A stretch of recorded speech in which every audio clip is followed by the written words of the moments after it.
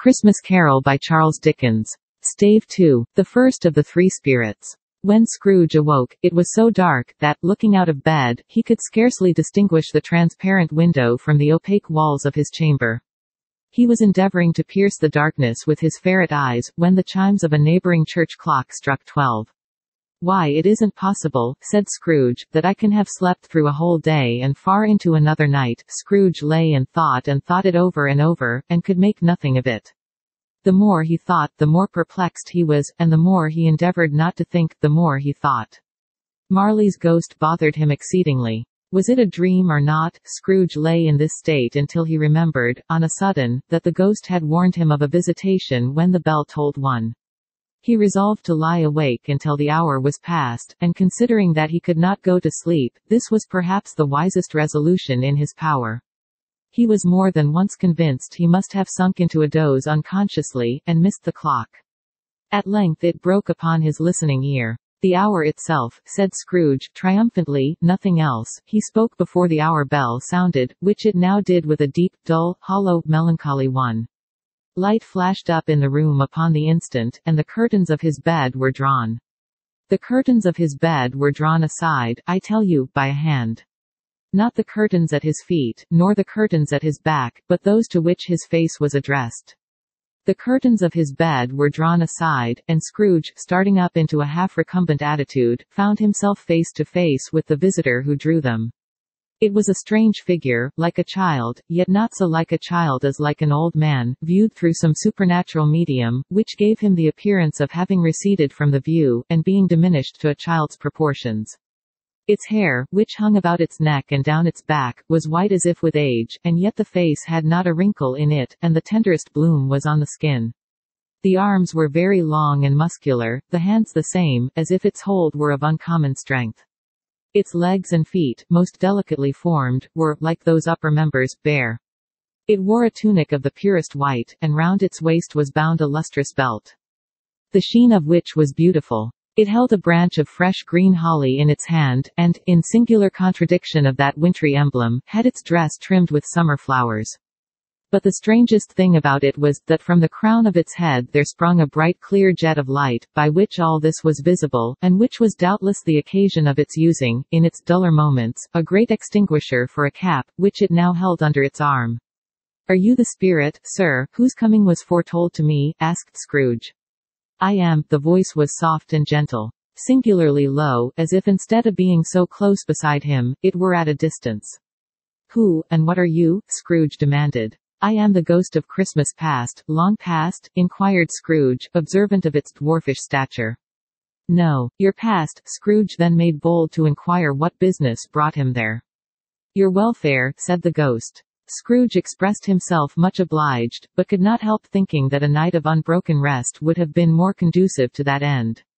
The spirit must have heard him thinking, for it said immediately, your reclamation, then. Take heed, it put out its strong hand as it spoke, and clasped him gently by the arm.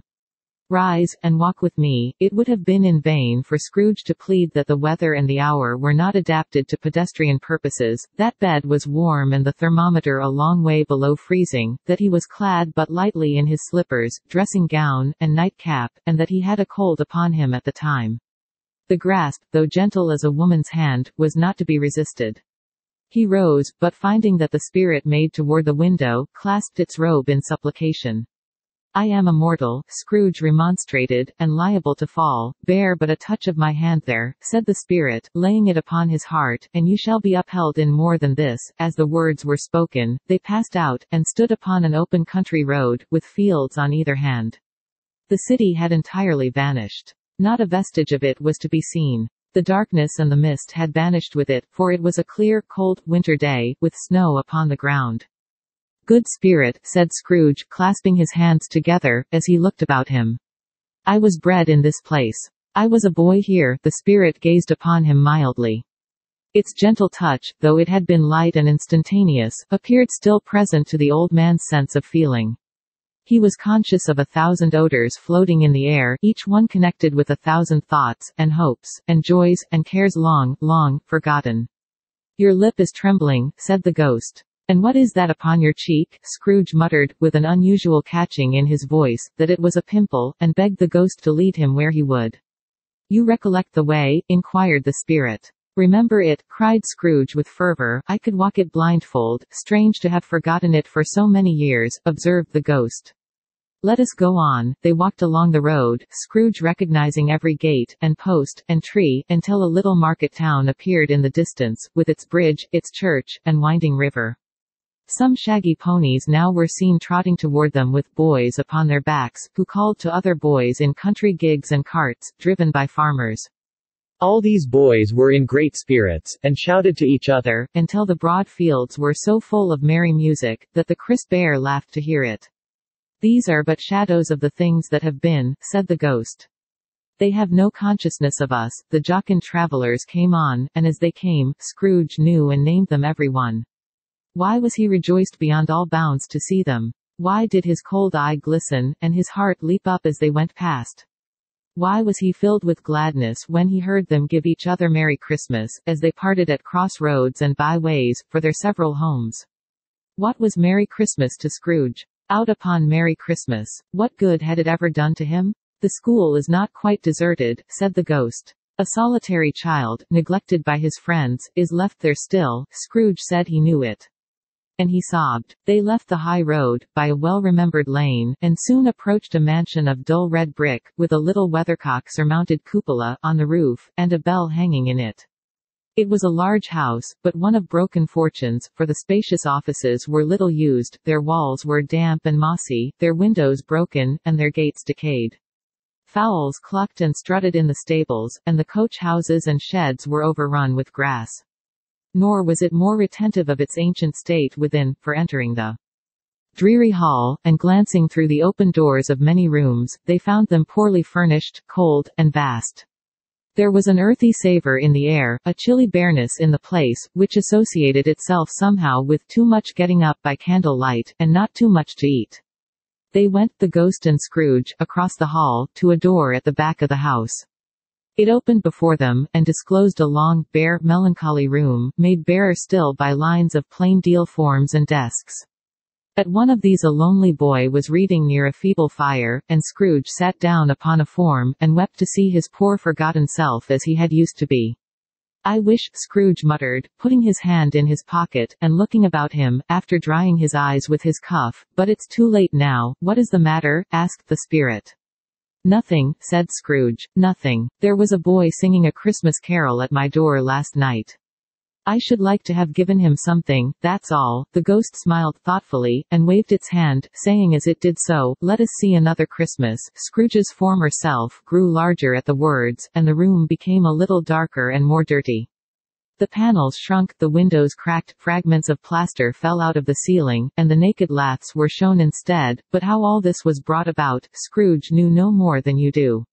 He only knew that it was quite correct, that everything had happened so, that there he was, alone again, when all the other boys had gone home for the jolly holidays.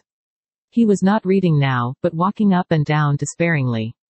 Scrooge looked at the ghost, and with a mournful shaking of his head, glanced anxiously toward the door. It opened, and a little girl much younger than the boy came darting in, and putting her arms about his neck, and often kissing him, addressed him as her dear, dear brother. I have come to bring you home, dear brother, said the child, clapping her tiny hands, and bending down to laugh.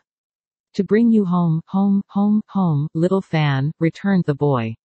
Yes, said the child, brimful of glee. Home, for good and all. Home, forever and ever. Father is so much kinder than he used to be, that home's like heaven. He spoke so gently to me one dear night when I was going to bed, that I was not afraid to ask him once more if you might come home, and he said yes, you should, and sent me in a coach to bring you. And you're to be a man, said the child, opening her eyes, and are never to come back here, but first, we're to be together all the Christmas long, and have the merriest time in all the world. You are quite a woman, little Fan, exclaimed the boy. She clapped her hands and laughed, and tried to touch his head, but being too little, laughed again, and stood on tiptoe to embrace him. Then she began to drag him, in her childish eagerness, toward the door, and he, nothing loath to go, accompanied her. A terrible voice in the hall cried, Bring down Master Scrooge's box, there, and in the hall appeared the schoolmaster himself, who glared on Master Scrooge with a ferocious condescension, and threw him into a dreadful state of mind by shaking hands with him. Master Scrooge's trunk being tied on to the top of the chaise, the children bade the schoolmaster good-bye right willingly, and getting into it, drove gaily down the garden sweep, the quick wheels dashing the hoar frost and snow from off the dark leaves of the evergreens like spray. Always a delicate creature, whom a breath might have withered, said the ghost. But she had a large heart, so she had, cried Scrooge. You're right. I will not gainsay its spirit. God forbid, she died a woman, said the ghost, and had, as I think, children, one child, Scrooge returned. True, said the ghost. Your nephew, Scrooge seemed uneasy in his mind, and answered briefly, yes, although they had but that moment left the school behind them, they were now in the busy thoroughfares of a city, where shadowy passengers passed and repassed, where shadowy carts and coaches battled for the way, and all the strife and tumult of a real city were. It was made plain enough, by the dressing of the shops, that here too it was Christmas time again, but it was evening, and the streets were lighted up. The ghost stopped at a certain warehouse door, and asked Scrooge if he knew it. Know it, said Scrooge. Was not I apprenticed here? They went in. At sight of an old gentleman in a Welsh wig, sitting behind such a high desk, that if he had been two inches taller he must have knocked his head against the ceiling, Scrooge cried in great excitement. Why, it's old Fezziwig. Bless his heart, it's Fezziwig alive again. Old Fezziwig laid down his pen, and looked up at the clock, which pointed to the hour of seven. He rubbed his hands, adjusted his capacious waistcoat, laughed all over himself, from his shoes to his organ of benevolence, and called out in a comfortable, oily, rich, fat, jovial voice. Yo ho, there. Ebenezer. Dick, Scrooge's former self, now grown a young man, came briskly in, accompanied by his fellow prentice. Dick Wilkins, to be sure, said Scrooge to the ghost. Bless me, yes. There he is. He was very much attached to me, was Dick. Poor Dick. Dear, dear, yo ho, my boys, said Fezziwig, no more work tonight. Christmas Eve, Dick, Christmas, Ebenezer. Let's have the shutters up, cried old Fezziwig, with a sharp clap of his hands, before a man can say Jack Robinson, you wouldn't believe how those two fellows went at it. They charged into the street with the shutters, one, two, three, had 'em up in their places, four, five, six, barred 'em and pinned 'em, seven, eight, nine, and came back before you could have got to twelve, panting like racehorses. Hilly ho, cried old Fezziwig, skipping down from the high desk, with wonderful agility. Clear away, my lads, and let's have lots of room here, clear away. There was nothing they wouldn't have cleared away, or couldn't have cleared away, with old Fezziwig looking on. It was done in a minute. Every movable was packed off, as if it were dismissed from public life for evermore, the floor was swept and watered, the lamps were trimmed, fuel was heaped upon the fire, and the warehouse was as snug, and warm, and dry, and bright a play-room as you would desire to see upon a winter's night. In came a fiddler with a music book, and went up to the lofty desk, and made an orchestra of it, and tuned like fifty stomach aches. In came Mrs. Fezziwig, one vast substantial smile. In came the three Miss Fezziwigs, beaming and lovable. In came all the young men and women employed in the business. In came the housemaid, with her cousin, the baker. In came the cook, with her brother's particular friend, the milkman. In they all came, one after another, some shyly, some boldly, some gracefully, some awkwardly, some pushing, some pulling, in they all came, anyhow and everyhow. There were dances, and there were forfeits, and more dances, and there was cake, and there was a great piece of cold roast, and there was a great piece of cold boiled, and there were mince pies. When the clock struck eleven, this domestic ball broke up. Mr. and Mrs. Fezziwig took their stations, one on either side the door, and shaking hands with every person individually as he or she went out, wished him or her a Merry Christmas. When everybody had retired but the two prentices they did the same to them, and thus the cheerful voices died away, and the lads were left to their beds, which were under a counter in the back shop. During the whole of this time, Scrooge had acted like a man out of his wits. His heart and soul were in the scene, and with his former self. He corroborated everything, remembered everything, enjoyed everything, and underwent the strangest agitation. It was not until now, when the bright faces of his former self and Dick were turned from them, that he remembered the ghost, and became conscious that it was looking full upon him, while the light upon its head burnt very clear. A small matter, said the ghost, to make these silly folks so full of gratitude, small, echoed Scrooge. The spirit signed to him to listen to the two apprentices, who were pouring out their hearts in praise of Fezziwig, and when he had done so said, Why, is it not? He has spent but a few pounds of your mortal money, three or four, perhaps. Is that so much that he deserves this praise? It isn't that, said Scrooge, heated by the remark, and speaking unconsciously like his former, not his latter self. It isn't that, spirit. He has the power to render us happy or unhappy, to make our service light or burdensome, a pleasure or a toil. Say that his power lies in words and looks, in things so slight and insignificant that it is impossible to add and count them up, what then? The happiness he gives, is quite as great as if it cost a fortune. He felt the spirit's glance, and stopped. What is the matter? asked the ghost. Nothing particular, said Scrooge. Something, I think, the ghost insisted. No, said Scrooge, no. I should like to be able to say a word or two to my clerk just now. That's all. His former self turned down the lamps as he gave utterance to the wish, and Scrooge and the ghost again stood side by side in the open air. My time grows short, observed the spirit. Quick, this was not addressed to Scrooge, or to anyone whom he could see, but it produced an immediate effect. For again Scrooge saw himself. He was older now, a man in the prime of life. His face had not the harsh and rigid lines of later years, but it had begun to wear the signs of care and avarice. There was an eager, greedy, restless motion in the eye, which showed the passion that had taken root, and where the shadow of the growing tree would fall. He was not alone, but sat by the side of a fair young girl in a morning dress, in whose eyes there were tears, which sparkled in the light that shone out of the ghost of Christmas past. It matters little, she said, softly. To you, very little. Another idol has displaced me, and if it can cheer and comfort you in time to come, as I would have tried to do, I have no just cause to grieve. What idol has displaced you? he rejoined. A golden one, this is the even-handed dealing of the world, he said. There is nothing on which it is so hard as poverty, and there is nothing it professes to condemn with such severity as the pursuit of wealth. You fear the world too much, she answered, gently. All your other hopes have merged into the hope of being beyond the chance of its sordid reproach. I have seen your nobler aspirations fall off one by one, until the master passion, gain, engrosses you. Have I not? What then? he retorted. Even if I have grown so much wiser, what then? I am not changed toward you, she shook her head. Am I? Our contract is an old one. It was made when we were both poor and content to be so, until, in good season, we could improve our worldly fortune by our patient industry. You are changed. When it was made, you were another man, I was a boy, he said impatiently. Your own feeling tells you that you were not what you are, she returned. I am. That which promised happiness when we were one in heart, is fraught with misery now that we are two. How often and how keenly I have thought of this, I will not say. It is enough that I have thought of it, and can release you. Have I ever sought release, in words? No, never. In what then? In a changed nature, in an altered spirit, in another atmosphere of life, another hope as its great end.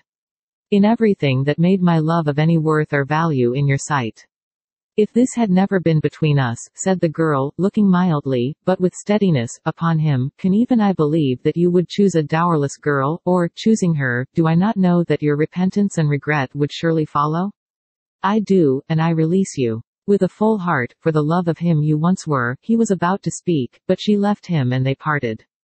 Spirit, said Scrooge, show me no more. Conduct me home. Why do you delight to torture me? I told you these were shadows of the things that have been, said the ghost. That they are what they are, do not blame me. Remove me, Scrooge exclaimed. I cannot bear it. He turned upon the ghost, and seeing that it looked upon him with a face, in which some strange way there were fragments of all the faces it had shown him, wrestled with it. Leave me, take me back, haunt me no longer, in the struggle, if that can be called a struggle in which the ghost, with no visible resistance on its own part was undisturbed by any effort of its adversary, Scrooge was conscious of being exhausted, and overcome by an irresistible drowsiness, and, further, of being in his own bedroom. He had barely time to reel to bed, before he sank into a heavy sleep.